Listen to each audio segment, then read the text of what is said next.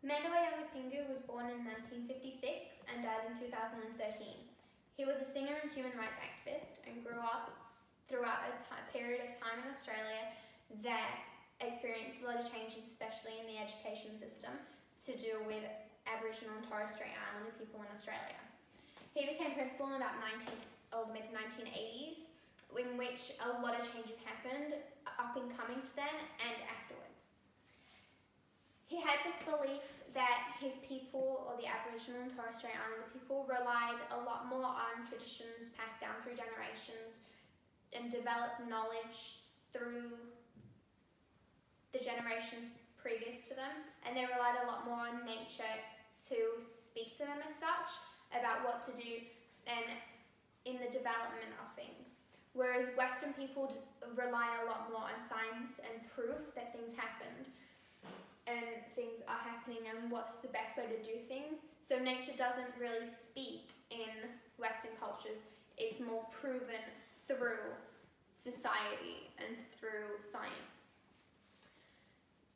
His contribution was significant because he created this to the both ways learning style which incorporated both Aboriginal traditions and the Western culture in order to get the best out of Aboriginal people, um, students as well as Western students in order to create this society that used both and used the best aspects of both.